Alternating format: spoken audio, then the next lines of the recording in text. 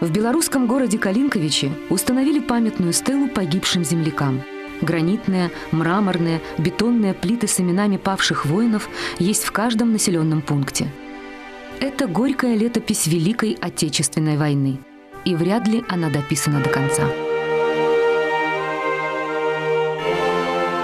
В Калинковичах решили, что на мемориальной плите должны быть выбиты имена всех жителей города, которые ушли на фронт и не вернулись. Поэтому на памятник землякам собирали средства всем миром. Мы находимся в Калининском краеведческом музее в зале военной истории. Перед нами стена э, памяти, на которой э, запечатлены лица людей, ушедших на фронт. К сожалению, уместить всех наших земляков, всех калинковичан э, здесь, в стенах нашего музея, не удастся. Разве можно сосчитать всех тех, кто не вернулся с войны? За первые семь дней войны в рабоче-крестьянскую Красную Армию в СССР призвали 5 миллионов 300 тысяч человек. Фактически численность Красной Армии удвоилась. Но огромные невосполнимые потери требовали все нового и нового пополнения –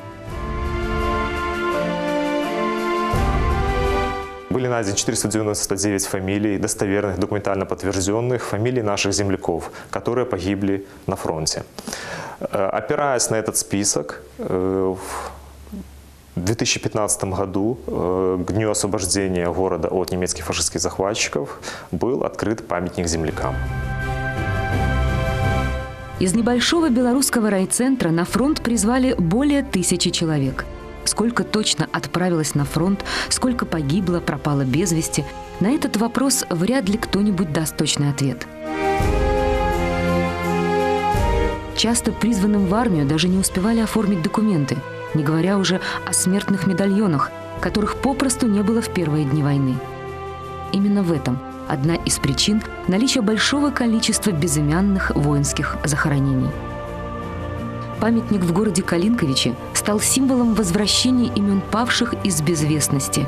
Помогли этому авторы проекта, студенты и преподаватели кафедры архитектуры Белорусского государственного университета транспорта размышляя о теме, как увековечить память этих людей, э, мы прежде всего подумали о вечном огне. Конечно же, газопровод туда никто тянуть бы не стал, поэтому мы решили сделать символический вечный огонь, и э, мы его изобразили в виде трех плоскостей э, гранитных. Проект был изготовлен совершенно бесплатно. Тут были и як гражданского долга людей.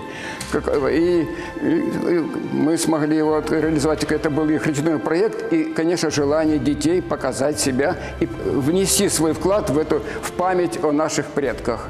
Кроме вечного огня мы еще хотели добавить э, людей, чтобы э, это пространство было более объемным.